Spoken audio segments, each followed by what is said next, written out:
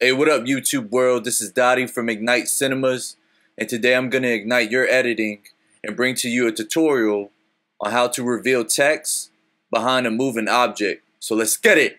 Okay, so this effect is similar to the last tutorial I released last week when we actually put text behind an object, but that object was still. This time we're going to do a cool text reveal behind a moving object using the same fundamentals. So I'm going to break that down for you right now. First thing you're going to want to do is of course get your scene. In this case, I'm using this scene right here that I actually filmed in Roanoke, Virginia using, I think I used, oh yeah, I used the DJI Osmo uh, camera. I was testing it. Pretty smooth footage right here, but um, I like the way that car was breezing by. This reminds me like of a Better Call Saul. If you guys watch that, it reminds me of that car. So I'm gonna I'm gonna use this for today's scene. So you're gonna find a place where you want to start the text reveal. In this case, I think I want to start about here.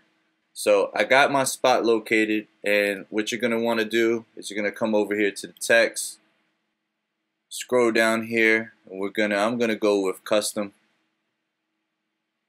and overlay that right there. Change it. Um, I'm to just put whoa. Whoa! I'm to keep it Helvetica. Bold it. Get a little bit bigger. I'm to scroll that down right about here. So I'm to have it right there. So when the car rolls by, it'll start to reveal to about right there. So then after that, I'm to go over here to mask and grab my draw mask tool. And I'm to overlay that on top. Come down here. I'm to zoom in so I can get a better view of what I'm masking. Under the draw mask, I'm going to keep it linear and I'm going to pretty much outline the car. Um, I'm going to get a little bit closer so it could be more precise. Uh, outline that.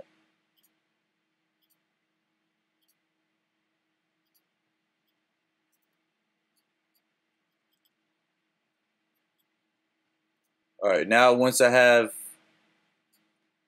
the object outlined in the mask, I'm going to hit invert mask and as you can see, it goes away. I'm actually going to start keying the object and I'm actually going to come down to draw mask add key and we're going to use the right arrow on our key uh, keyboard and we're going to move everything accordingly.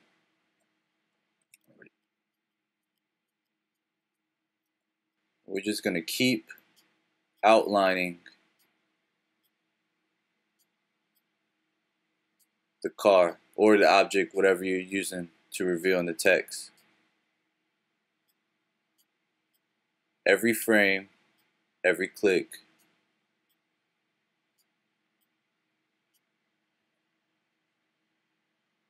keep doing the same thing. Just moving the object one by one. Now for your guys' sake, I'm going to speed this up.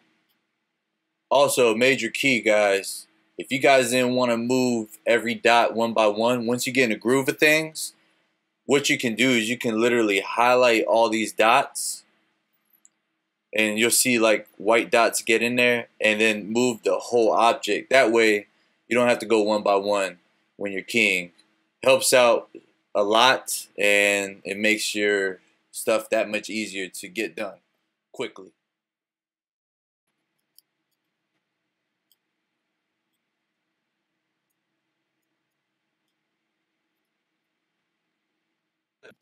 And voila, there you have it. That's how you do the text reveal behind a moving object. Really cool and clean effect. I love this effect. I will keep in keep in mind though, guys. Like it does it is time consuming. Like if I didn't fast forward myself editing, doing the mask, it took about 10 minutes. So, and that's for four letters.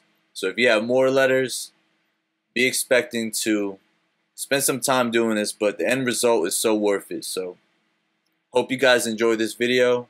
Don't forget to hit that thumbs up button for me. Like the video if you want to see more tutorials like this. And don't forget to hit that subscribe button for me too. I'm going to be constantly updating this channel with more breakdowns on how to ignite your editing in the future. So stay tuned for that. Thanks for watching. As always, go ignite. I'm out.